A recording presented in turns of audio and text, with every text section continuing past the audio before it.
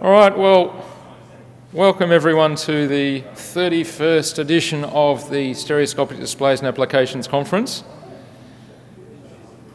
It's absolutely amazing to uh, think that we've made it this far.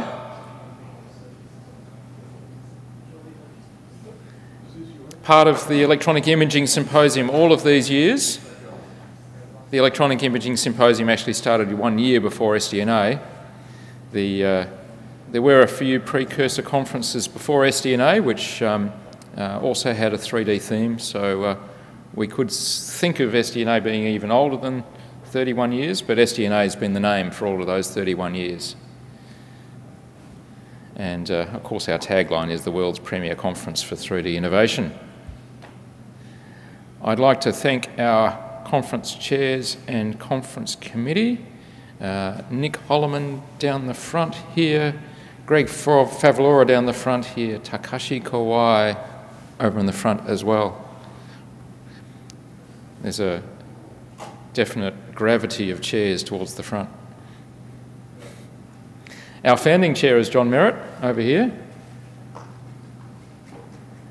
Our program committee um, who uh, contribute uh, variously throughout the year uh, are Neil Dodgson from um, New Zealand, who unfortunately is unable to join us this year, Davide Gadia from Italy, who's also not here at the moment, Hideki Kakeya uh, from Japan has a conflict with his um, teaching timetable.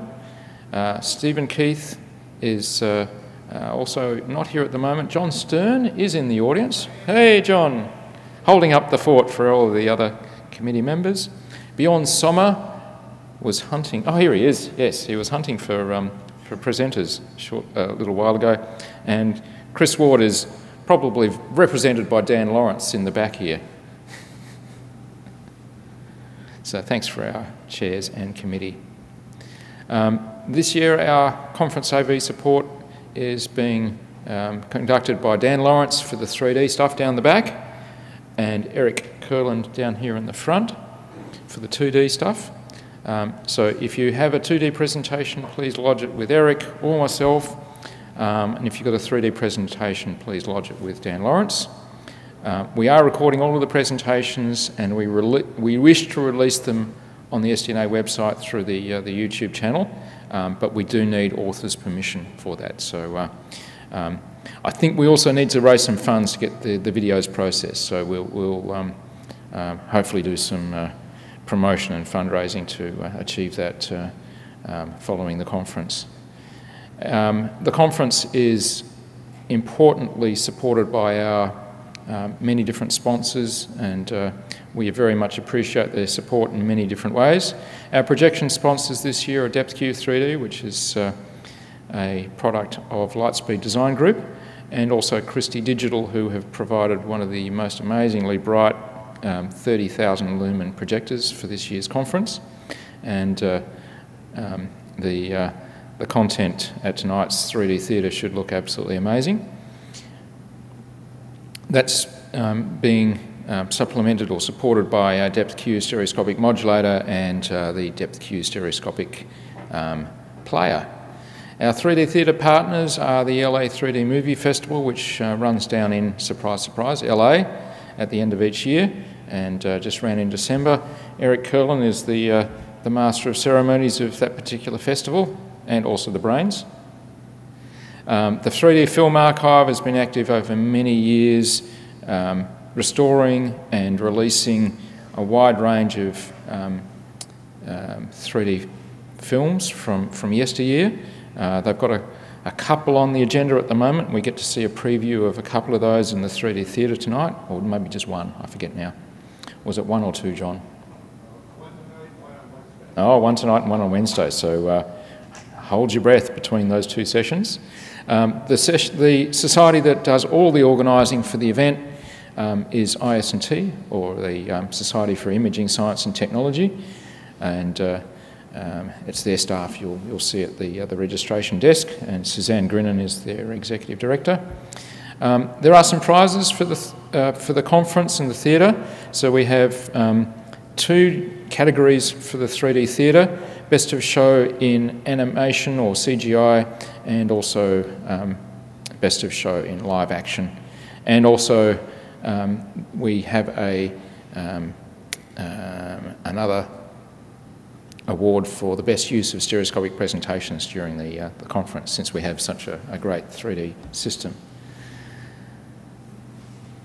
The dinner tonight, which the sign-up sheet is just down here, which reminds me I should sign it myself, um, is at 8pm. Hopefully I got the time right. Is that correct? 7.45. 7.45? Okay, yeah, it's after the, um, the 3D theatre completes. So it's at Max's Restaurant and Bar. Um, as you can see from the, uh, the diagram here, you just walk out the door of the, the hotel, hit Bayshore Avenue, turn right, and go down here, and eventually Max's Restaurant is just on your left. And uh, we've got a little area down the back, and we've also got a piano player this year as well. Um, numbers are relatively limited, so um, please get your name on the, the sign-up sheet, and uh, I think um, Greg has to call in final numbers um, sometime around lunchtime. So um, um, get your name on the list if you're joining us. The um, um, the other thing to check is that how many people are on Twitter. So the conference has a Twitter address, Twitter handle, Twitter feed. So post something and tag that, and we'll, we'll like you and retweet you back.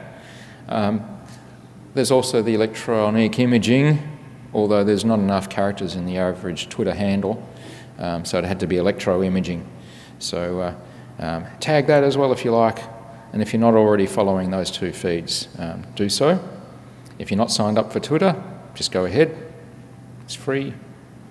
Um, we've already been experimenting with our um, Tim Tam slam times this morning, and um, um, here's Greg demonstrating. so according to this diagram here, you, you bite the corners, but there are some variation in techniques, and it sounds as though there's, over our four years of doing this now, there's actually some, a little bit of scientific process going on, what might be the best process to uh, to, to do your Tim Tam Slam. And, and Greg's actually got a no hand technique, which is very interesting as well, I just noticed for the first time. Um, so we'll be doing that in the morning and the afternoon breaks and perhaps even during lunchtime as well. We've got enough supply as long as we moderate to last us the uh, um, Monday, Tuesday and Wednesday. Um, IS&T bookshop is usually out the front. I forgot to check, but there's usually a few 3D books in there, so if you haven't got, grabbed those, um, please do so. Um, there are some late changes, um, as always, um, and uh, usually just look at the, uh, the signboard out the front. Um, who's new to SD&A? One, two, three, and I know one of the presenters this morning was, was new as well, so welcome. Those of you who are regulars, make sure you say hello to the new people and, and make them welcome. Um, has everyone signed up for dinner yet? Not yet? Um, and uh, actually, one presentation, one um, uh, change I should mention, I don't know that it's made onto the board yet. The second paper of this session, um, the author was unfortunately unable to attend, and uh, so uh, John Stern asked me to talk about two films that we will be showing snippets of tonight. Those are three um, films that have been captured with a 360 camera and are, print, uh, are presented um, on a non 360 system. So, um, in that um, cancellation, I will give a little bit of information about the two films and how they've been remastered to be shown on a flat screen 3D display um, 16 to 9, whether it's a um, desktop display, TV, or a, uh, a, cinema screen like this. So that'll, that'll be the, uh, the second presentation of this particular session that's coming up now. Um, so, have I got everything? Is there anything else I need to mention? Theatre session. No, I haven't. Um, oh my goodness. Yeah. Um, the whole reason I wear this tie on Monday. Um, so the 3D theatre is one of the highlights of the conference amongst many, and uh, it's an hour and a half session. Um, our, our lead producer is John Stern, and um, ably supported by Dan Lawrence, Chris Ward, and myself. And uh, um, on average, uh, the content is about three minutes per piece, and uh, we've got a whole host of different uh, material from all sorts of different genres, all sorts of different countries, all sorts of different production techniques. So uh, um, lots of interesting things to, uh, to uh, capture, capture your attention. Um, my recollection is that's six o'clock. Very good, thank you, Greg. Um, and uh, so we even pro provide 3D glasses. The um, session I will be talking about um, as the second paper will also be in 3D. We'll show those two pieces that are being referenced in full. And uh, so um, um, we'll be handing out 3D glasses when that comes up. Those glasses are for you to keep, um, so uh, please make sure you hang on to them, put your on in your bag or your, your jacket pocket and make sure you uh, keep them fingerprint free and um, um be, uh, be ready to enjoy that session. So uh, how are we going for time? Are we on time? I've got eight minutes according to this, is that right? Yes. Oh my goodness. When and where is the demonstration session? The demonstration session, very good question, Eric. Um, demonstration session is on Tuesday night, if I recall. Is that correct? I'm looking at Greg. Very good. 5.30. I'm glad I know these things off the, off the back of my hand. Um, so um, um, there's actually Bjorn is our demonstration session chair. Uh, would you like to come up and say a few words about the demonstration session? Impromptu. You're actually the session chair of this session, so it, it, it's a little bit of double, double service coming up. Oh, um, I believe it's in here. Um, so I think that's ABC. Yeah, hello everyone.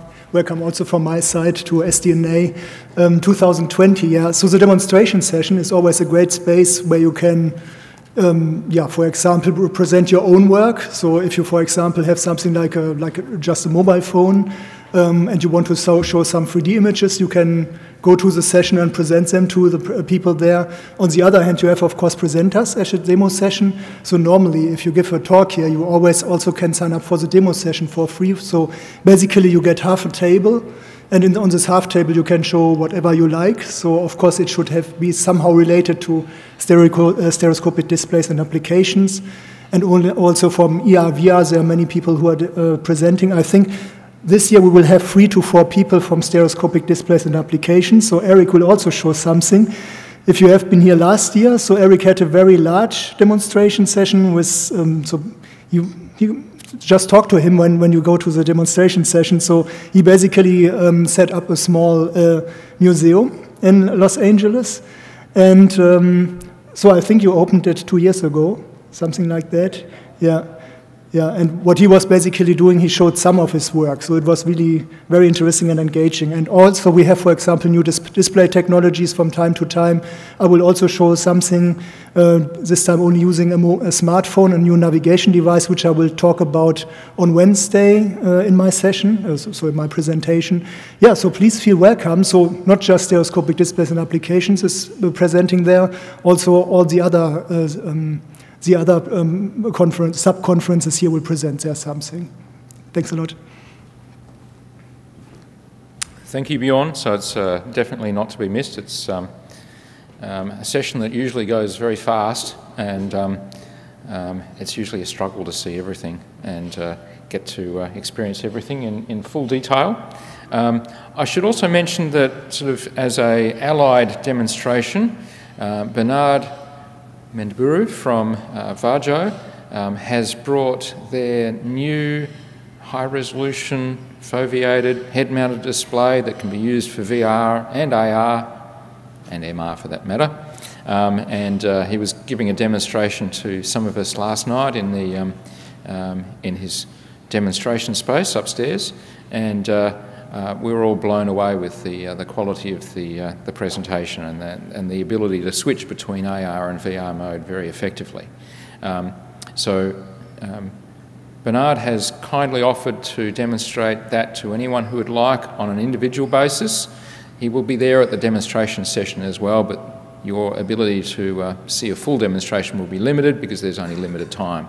But if you'd like a more extended presentation, then please chat with Bernard right there, and um, uh, he's uh, very willing and um, wanting to, uh, to show you what it's very capable of, and I would hi highly recommend it. So, how are we going with time? Three minutes. So, um, at this point, I think I will hand over to Bjorn. You can tell us a little bit about this session, and um, I'll get ready for my presentation as well.